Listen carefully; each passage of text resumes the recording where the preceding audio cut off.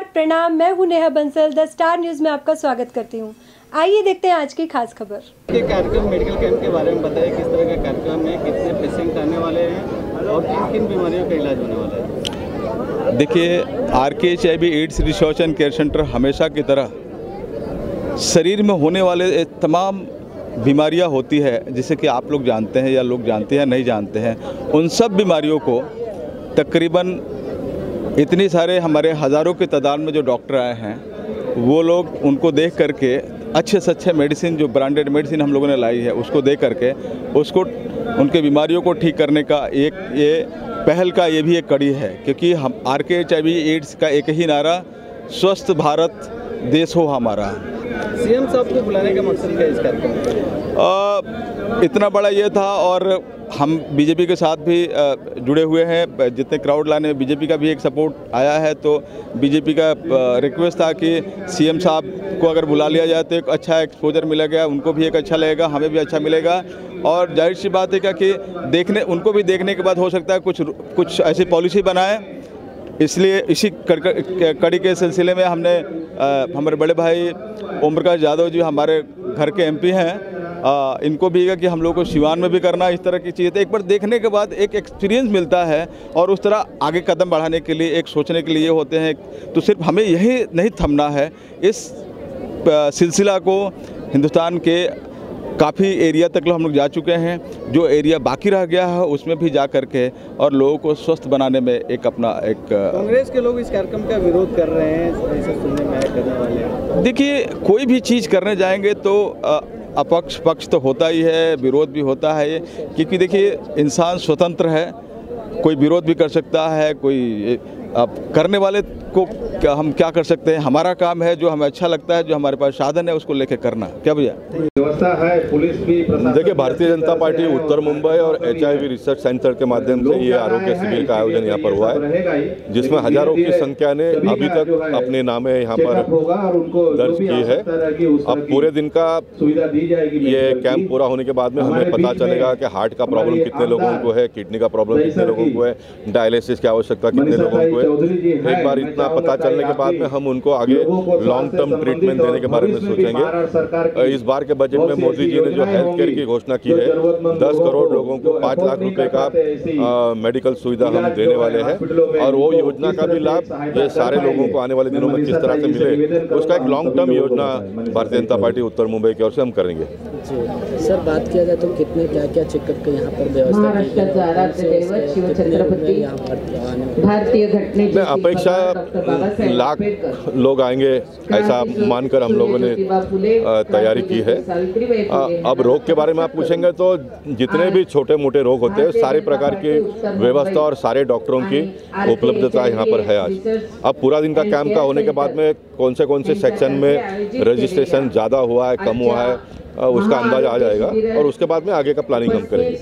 आपल्या सर्वांचे खासदार, कार्यसम्राट खासदार गोपाल शेट्टी जी, कहना है? देखिए संजय निरुपम जी का इस कैंप के पास आकर प्रोटेस्ट करने का सोचना ही ये कैंप का सक्सेस है मैं मानता हूँ। क्योंकि कांग्रेस को इस कैंप का नोन लेना पड़ा। कांग्रेस इस कैंप से डर गए हैं इसलिए इस प्रकार की हरकत करने का प्रयास करते हैं। और ये धरना वरना करके इसका तो हमारे पास पीएचडी किया है हमारे पास सर्टिफिकेट है। हम ये धरना करते करते यहाँ तक पहुँचे हैं। इसलिए संजय निरुपम के ऐसे छोटे मोटे धरना से डरने वाले भारतीय जनता पार्टी के कार्यकर्ता नहीं हैं?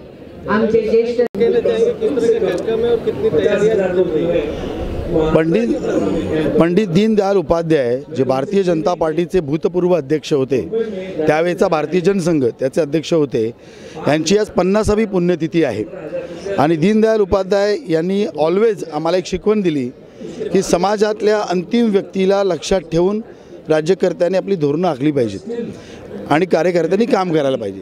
ही गोष्ट लक्षात ठेवूनच आजच्या त्यांच्या पुण्यतिथीच्या दिवशी आम्ही हे महाआरोग्य शिबिर इथे घेतलेलं आहे.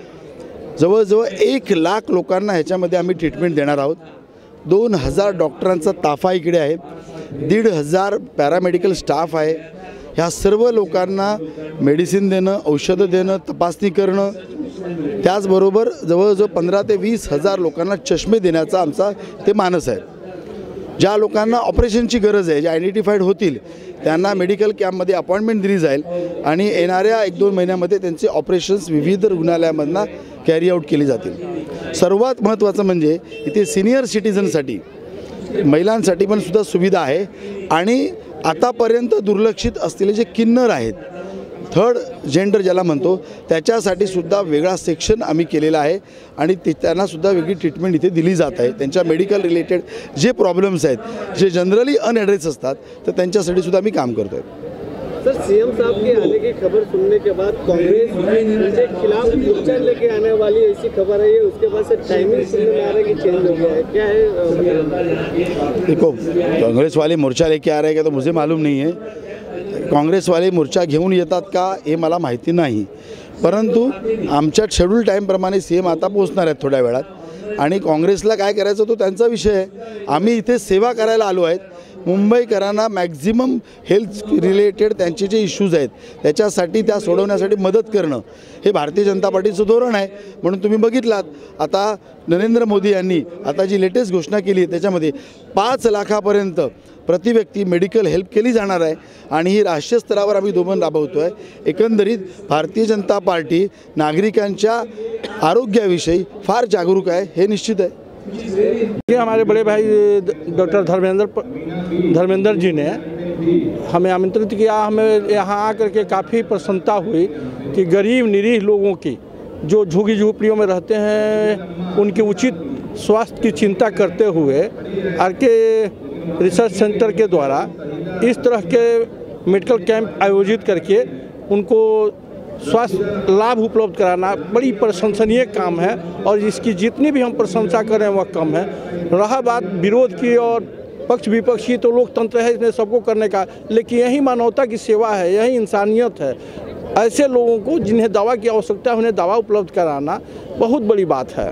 तो सर क्या इसके बाद से उम्मीद कर सकते हैं कि आपके भी संसदीय क्षेत्र में हमारे संसदीय क्षेत्र में भी हमने आमंत्रित किया है हमने आग्रह किया है कि देश के प्रथम राष्ट्रपति राजेंद्र बाबू की पावन पवित्र जीरादेही में हम लोग तीन दिसंबर को उनके जन्मदिन पर इस तरह के कैंप आयोजित करेंगे। Okay sir thank you. Film crime राजनीति और धर्म से जुड़ी खबरों को देखने के लिए देखते रहिए द स्टार न्यूज़।